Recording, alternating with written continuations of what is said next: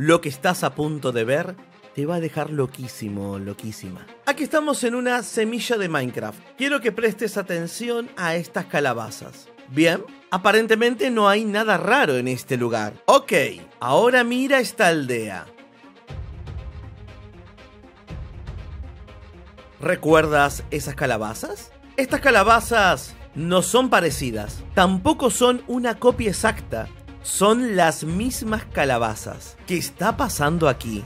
Esto no es lo más raro. Quiero que veas las coordenadas. 1800, 2300. Bien, ahora presta atención a estas coordenadas. 1800, 2300. Son las mismas coordenadas. Pero eso tampoco es lo más raro. Lo más loco de todo este video es en qué semilla estamos. Hago un barra seed y estoy en la semilla 0. Y si aquí hago un barra seed, también estoy en la semilla 0. Es la misma semilla, son las mismas coordenadas, generación de mundo procedural, idéntica. Sin embargo, en un mundo tengo una aldea y en el otro no. Hay algo que se llama semillas gemelas, que es básicamente dos semillas que son muy parecidas entre sí, en las cuales pasa algo similar a esto. Pero este no es el caso. No son dos semillas gemelas, no son dos semillas parecidas, son la misma semilla. Poné la seed, entras al mundo, hay una aldea, poné la misma seed, entras al mundo, venís a estas coordenadas y la aldea no está. ¿Cómo es esto posible? No solo te enseñaré qué está pasando acá, sino que también te voy a enseñar a hacerlo en tu survival. Porque, por ejemplo, ¿ves esta taiga? Pareciera que no tiene nada de especial. Y sin embargo, misma seed, mismas coordenadas, exactamente la misma generación, pero con la diferencia que tengo un barco hundido, tirado encima de una taiga. Un barco de generación natural. ¿Qué está pasando aquí? ¿Y cómo puedes hacer esto en tu survival? Bueno, tengo mucho que decirte. Tengo mucho que contarte. Sin más preámbulos, comencemos.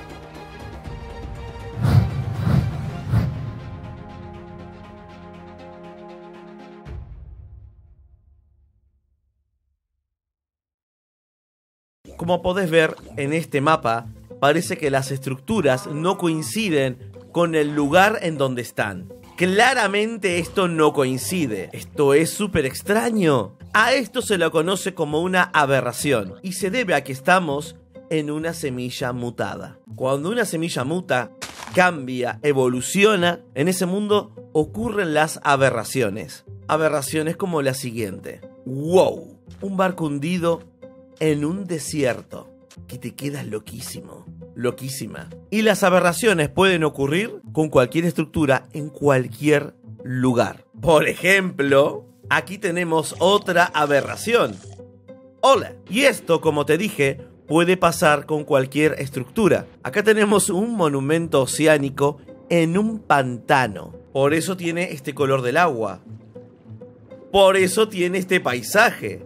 Si un monumento oceánico en un pantano no te pone loquísimo, yo no sé qué hacer, ¿eh? Lo más probable es que esto esté en tu top 10 de cosas raras de Minecraft. Bueno, a ver. No solamente se generan aberraciones, sino que, por ejemplo, si se genera un barco y este barco da un mapa del tesoro, el mapa funciona. Empecemos a explicar todo esto. ¿Qué es lo que estamos viendo? Pues nada más y nada menos que la mutación de una semilla una semilla que cambió, que evolucionó y ahora no se maneja con los parámetros naturales de la misma. Cuando eso sucede, ocurren lo que yo llamo las aberraciones. Y estas aberraciones siempre son de estructuras. Básicamente una semilla mutada es una semilla que tiene dentro de sí misma dos semillas. La semilla original y a lo que yo llamo la semilla huésped.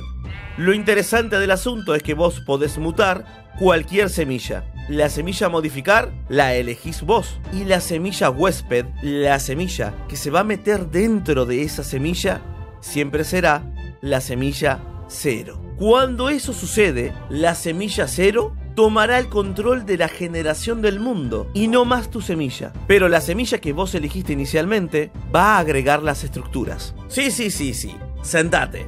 Tengo mucho que explicarte. Vamos a crear un nuevo mundo. Este mundo será la semilla original y para no confundirnos, la SID será 1, 2, 3, 4, 5, 6. Quiero que me des toda tu atención. Entramos. Esta semilla tiene como característica que tiene un pila grow en el spawn. Lo puedes comprobar vos mismo entrando ahora a tu Minecraft y colocando la semilla 1, 2, 3, 4, 5, 6. Bien, ahora la semilla 1, 2, 3, 4, 5, 6 tiene el control de todo, del terreno, de las estructuras, de las criaturas, de absolutamente todo. Entonces todo está donde debe estar. Digamos que está todo donde Motion programó que esté. Bien, ahora vamos a quitarle el control a Motion de esta semilla. Vamos a mutarla. No te olvides, estamos en la semilla 1, 2, 3, 4, 5, 6. Ahora vamos a abrir Minecraft 1.10 y abriremos la semilla original. Le ponemos que sí, continuamos y se abre el mismo mapa, pero seis versiones atrás. Ahora bien, segundo paso, volvemos a abrir Minecraft 1.16.5 o la versión más actual que tengas en el momento que estés viendo este video. Y acá estamos en la semilla 1, 2, 3, 4, 5, 6, habiéndola pasado por esas dos versiones.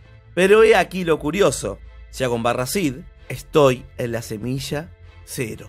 Ya no estoy más en 1, 2, 3, 4, 5, 6. Ahora la generación del mundo pertenece a la seed 0.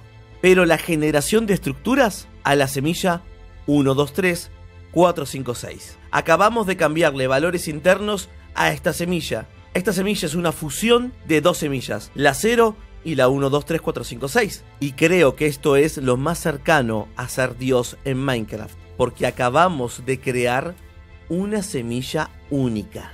Observa muy bien, mira las coordenadas y mira la semilla. 1, 2, 3, 4, 5, 6. En esta seed y en estas coordenadas. Aquí debajo tenemos un barco. Un barco hundido. Y aquí en la semilla mutada tenemos la generación de terreno de la SID 0, pero con las estructuras de la 1, 2, 3, 4, 5, 6, teniendo el mismo barco, pero en superficie. Que te quedas intrigadísimo. Un nuevo descubrimiento para la comunidad. Ahora imagínate creando tu propia semilla. Porque no te olvides, donde está la estructura de la SID original, estará luego en la semilla mutada. O sea que si elegís bien y quisieras, por ejemplo, un templo de desierto debajo del agua, metido en un océano como si fuera un monumento oceánico, tan solo deberías ver que la semilla original tenga un templo de desierto en la coordenada donde la SID 0 haya un océano. Y en una de esas, si todo sale bien, tengas el templo de desierto más raro de todo el mundo y tengas una gran foto para Twitter. Uh, qué bueno sería poner un monumento oceánico por aquí, por ejemplo. Me ahorraría quitar toda esa agua. Tan solo imagínate las posibilidades que tenés ahora. Recuerda, el huésped siempre será la SID 0. La semilla a mutar es la que vos elijas. Entonces, ¿qué sucede con las estructuras originales? Bueno, puede pasar que, donde antes había una aldea llena de aldeanos, ahora, por ejemplo, desaparezca toda la aldea y tengas en su lugar un barco. Un barco en un pantano. ¿Qué pasaría, por ejemplo, si implantás una aldea en una jungla. Exacto. Lo que estás pensando. Espera, ¿podría yo poner una aldea dentro de una cueva de Minecraft 1.17? ¿Podría generar aldeanos de pantano de forma natural? Espera, espera, espera. ¿Y qué pasa en el En? ¿Qué pasa en el Nether? Para todas esas preguntas hay una respuesta, donde hablaremos de semillas mutadas, pero en diferentes dimensiones. Eso lo haremos si este video tiene tu apoyo. Así que deja un excelente like a este video, ahora mismo como si no hubiera un mañana. Y si es la primera vez que ves uno de mis videos, te invito a que quite la pantalla completa, apriete ese botón de suscribirte y luego active la campana con todas las notificaciones. Así no te pierdes de ningún video del canal y obviamente no te pierdes la segunda parte de este video. Esto es un descubrimiento loquísimo. O imagínate hacer esto entre diferentes versiones de Minecraft y hacer un híbrido. Mira, por ejemplo, acá te dejo este video donde hablo sobre el bioma 43, el bioma más raro de todo Minecraft. Tienes que conocer este bioma, es bastante particular. Y si jugamos con ese bioma en el próximo video, Las posibilidades son infinitas, pero ahora te recomiendo que veas el bioma 43. Clic en este video que te espero en él. Un abrazo y gracias por ver este video.